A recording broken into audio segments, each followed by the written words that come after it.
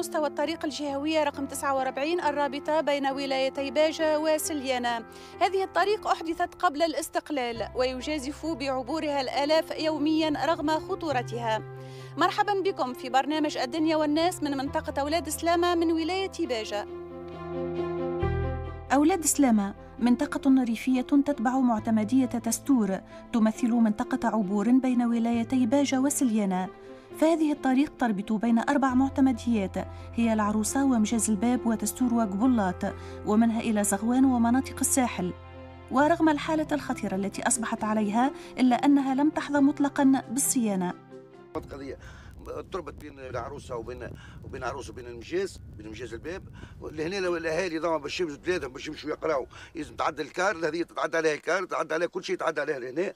هما توا والتجهيز لا يعرفها اللي جاي عبى فيها التراب ومشى يروح. ما شافوهاش هكا مكسرة ومشقة. شافها. كيفاش هو عبى التراب وما شافهاش؟ هو شافها. هو تو ما يفيق باقي نهار تطيح. نهار تطيح تصير كارثة وقت تصير كارثة ساعديك الجهه يطلع عليه. فما كثافة مرورية على فما كثافة فما تلامذة فما ناس قاعدة تعيش في, يلزم يهبط البلاد يهبط التستور باش يجيب الخبز باش يجيب الماكلة نتاعو. ما كانش يقعد غاديك يقعد ما عملت شيء. في وقت الشتاء ما يتعدى. تلامذة هنا يقراوا في تستور ويقراوا في في ولاد السلامة. يقراوا في بالكار شوف فيهم بالكار هي تعديت توا تعدى توا الكار توا. جيت ثلاث مرات الكار لهنا وتتعدى فوق وتتعدى وتجي مرات يجيبوك الدوبل.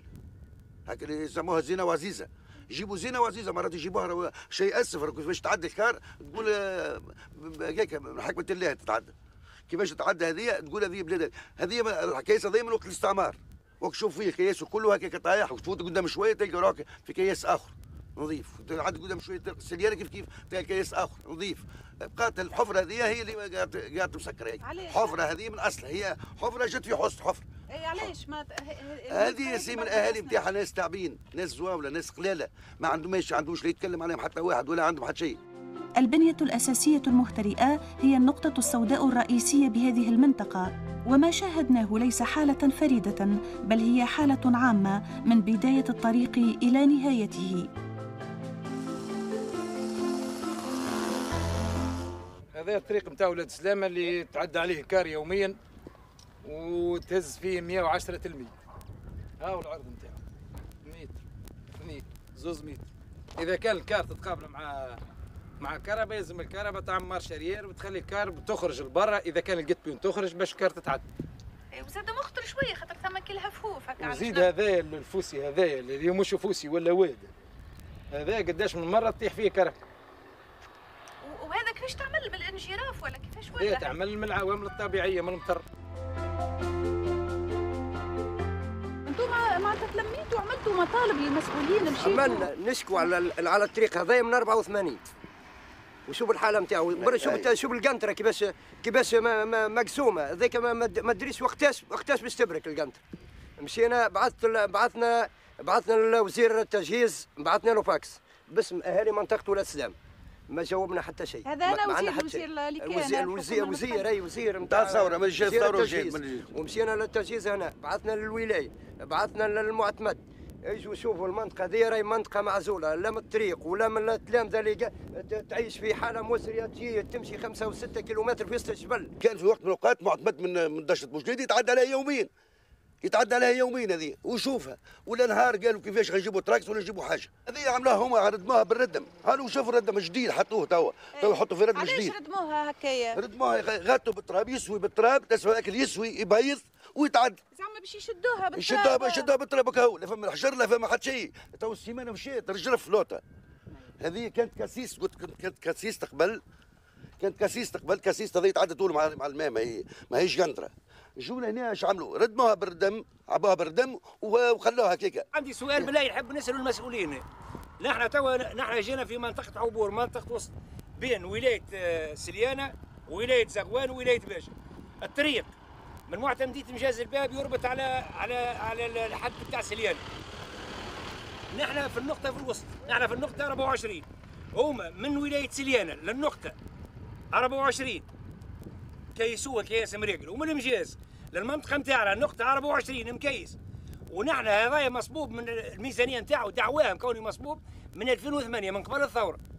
ولليوم نفس الحكاية ونفس الخبر. أو تجهيز باش معبي الحواجز بتاع تونس. هذا من الحواجز باش على الانجراف ها باش معبيه معبيه بالتراب. ها التراب ها التراب هاي هاي تشت هذه هذه حلقوم حلقوم هذاك. ما هو جبره مش مش ها ها بالتراب واضح. هاي. هذايا هاكم برا وشوفوا معاه وشوفوا حال الطريق هذا ونشوف العباد هاي كل مرة accident كل مرة واحد يموت كل مرة موتور ضربته. كهرباء عنا قنطره ذي هاي تزفوا خواتنا واخواتنا الكل يمشوا يقروا فيها. car كل يوم car ما عادش تحب تجي القنطره مش تطيب كتصير لنا نحن كارثة كما كان ارسلت في باجه يقولوا يا ريتنا وكيفاش وشنا صغار ويبدو عادي الناس يحطوا في المسؤوليات في بعضهم وكل واحد يلصق في لوق نحن شوفوا لنا الطريق هذا. هل يشري كهرباء جديده تدقدق يا الكيس بقيت شهر في الكوما فاقد الذاكرة. أنا بالكياس هذا. كيفاش الحادث؟ أكسيدون. الكياس عندي جيلين عرضتني كابين بنتيس في الكياس هذايا ضربتني كسرت لي ظهري وراسي وكتافي ومت وحيد. مناش على خاطر الكياس هذا منسي. قاعدين نهار الجمعه أكثرش من الجمعه راهي سوق باش ناخذوا السلك والمعدوس والكرفس. باش ناخذوا منتج الجمعة نتاعنا نهار الجمعة مع الناس سوق نهار الجمعة نحبسوا في الكياسات نحن نقعدوا الشر حاجتنا بالكياس يترك وحاجتها بنقل الريف ترخيص الواحد ولا اثنين نتاع نقل الريف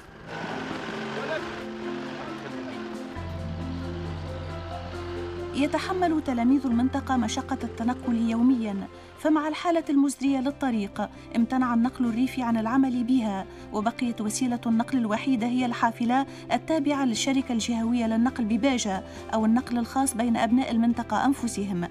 الطريق هذايا اللي تمشي عليه وليداتنا وتفرجوا في المدرسة. تفضلوا تفرجوا المدرسة وتفرجوا وليداتنا كيفاش يمرقوا الصباح الحافلة مركبة التلامذة اللي يمشوا للليسي واللي يجوا للمدرسة هذه يقروا. تفرجوا فيه ونصب المطر تجرف منه شوية شوية كي نمشوا للسيد المعتمد ولا للمسؤولين وكذا يجيبوا لنا voyage gravier تراب ردم. هاو. هاو يحطوا فيه يصبوا voyage اثنين باش يسكروا البلاصه وكاو. ولا يجيبوا لنا ترايف تربه يسكروا بها ماك الحفر هذه هي المدرسة تم بناؤها منذ سنة 1961 وتوجد في موقع جراف وتفتقر إلى أبسط الضروريات وجزء منها مهدد بالسقوط في أي لحظة ولا حياة لمن تنادي. مدرسة ريفية آه، فيها جميع المشاكل اللي ممكن تتواجد في جميع المدارس الريفية تقريبا آه، وضعية مزرية جدا نقريو فيها. أنا personnellement أنا وزوج زملاء آخرين نقريو في قاعة اللي المفروض راهي مسكرة ممنوع أنه نقروا فيها. خاطرها آيلة للسقوط donc خطر كبير عليا أنا والتلميذات وزملائي زادة. آه، المدرسة ما فيهاش أبسط حقوق اللي تنجم اللي لازمها تتوفر للتلامذة بما فيهم الملعب. آه، الواحد المطعم اللي تبناه والتوا ما يعطوش فيه déjà مازال ما كملش ما كملتش فيه ال installation ما ياخذوش cantine. آه، المشاكل المالية بالطبيعة نتاع صابين فلوس وما صابين فلوس sais pas quoi ناهيك على برشا مشاكل الماء ما ثماش الضوء ما ثماش. آه، عندنا زملائنا نواب وما عندهمش سكنة يختاروا إنهم يسكنوا لهنا في الديوان اللي يتابع المدرسة. لا فيها ماء لا فيها ضوء. وإلى للسقوط زاد معناها خطر كبير عليهم يحدد حياتهم. إحنا المدرسة هذه فيها 13 معلم 10 فيهم نواب. عندنا تلامذات هذوما.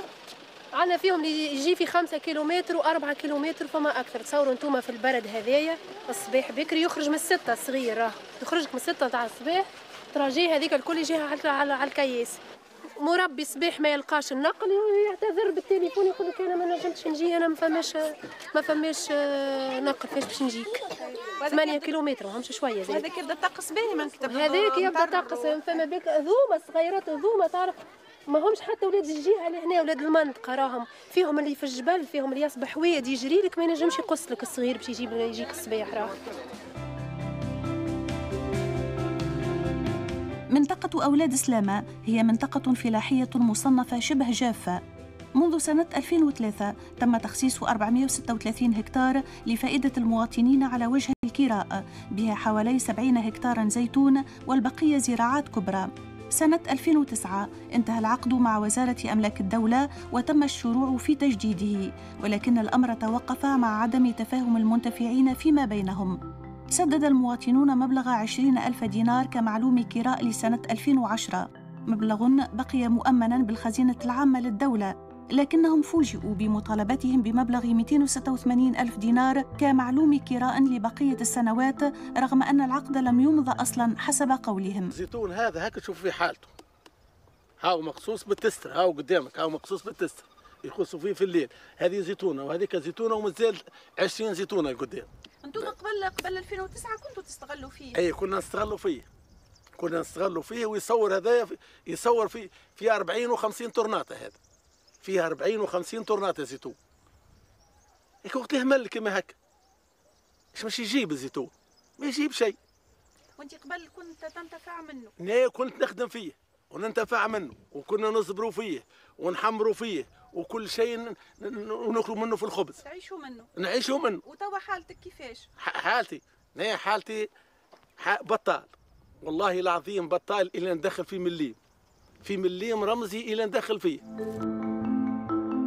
تضم المنطقة ضيعات فلاحية عديدة على ملك الخواص ولكن السكان طرحوا مسألة إحدى الضيعات التي يستغلها حاليا ديوان الأراضي الدولية. الدولة استثمرت في الأرض هذه ومعناتها وأنجبت الخيرات على مستوى ديوان أراضي الدولة. ما رعانا اليوم إلا والضيعة هذه يعاودوا يعاودوا يحبوا يخوصوها. نحن راضيين الخوص أنتم شكون كمواطنين. كم كعمال. كعمال وكمواطنين. راضين خوصصة الضيعة هذه لما عندها معناتها من مردودية على مستوى السلم الاجتماعي بالمنطقة وعلى مردودية على مست- مستوى التشغيل. إحنا المستثمر اللي خرج معناتها خلى خمسة م- مترسمين. خمسة من الناس في 1487 هكتار. فهمت؟ اليوم الد- الديوان أبقى على العمال المترسمين وزاد من قرابة 30 عامل اخر إحنا نحبوا يبقى الابقاء على ديوان أراضي الدولة. باش يوفركم باش يوفر لنا ويستثمر فيها ديوان ارضي الدولة. لكن وزاره الأشراف رفض. تو نقول لك علاش رفض؟ ضيعات الباهيه والتنتج.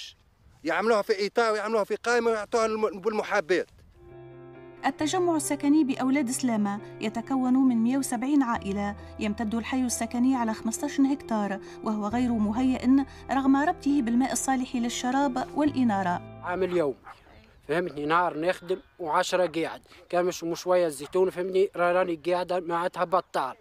فهمتني؟ مشكلتي ها الماء والضوء ما بوش لا يدخلونا لا ماء ولا بو يجونا ولا بو يشوفونا ديارنا ولا بو يجوا معناتها يوصلونا. لا وصلت للستين وصلت للستين وصبت صبيت على روحي صبوا علي الديوان شوية وصبيت على الباقي على روحي. قالوا لي تاخذ 65 إي 65 ونام تو ما عادش يخدمني حتى واحد 60 سنة وأنا عندي عائلة. إي الخمس سنين كيفاش باش ناكل فيهم؟ نص الخمس سنين بلا ماكلة. مشيت للولاية على رخصة نتاع دخان. قلت خلينا نعاون بها روحي. قالوا لي لا يا ودي أنا مش مش تعطيني رخصة نتاع طيارة راك مش مش تعطيني فيلا راك مش تطلع سيد الوالي راك مش مش توقف أنت من الكرسي تخليني في بلاصتي أعطيني رخصة خلينا نبيع شوية دخان باش نسقيت. ما عنديش مورد رزق ران قال لا مشيت مالك البنك التضامن مش نعمل قرض مش نأخذ نعجات باش نسرح بهم وندبر بهم راسي باش نعيش عائلتي ونخلص الماء والضوء. لا ممنوع. لا تو نعطوك تو نشوف تو برا المزود. برا جيب المزود امشي جيب آخر ما تجيب وتغسل 100 150 ألف يقول لك ما فماش البرنامج هذا. يقول لك مرفوض. يقول لك مرفوض ولا لا بطل يقول لك ما ما مرفوض. بالله كيفاش باش نعيشوا؟ بالله نحن. هنا كيفاش باش نعيشوا؟ أنا هي الطريقة اللي باش نعيشوا بها 460 هكتارا من الأراضي الدولية مهملة. شباب معطل عن العمل. بنية أساسية مهترئة. سكان يعانون الفقر والتهميش. هو نداء استغاثة من سكان منطقة أولاد سلامة من ولاية باجة. فهل من مغيث؟ إلى هنا ينتهي برنامج الدنيا والناس. شكرا على المتابعة وإلى اللقاء.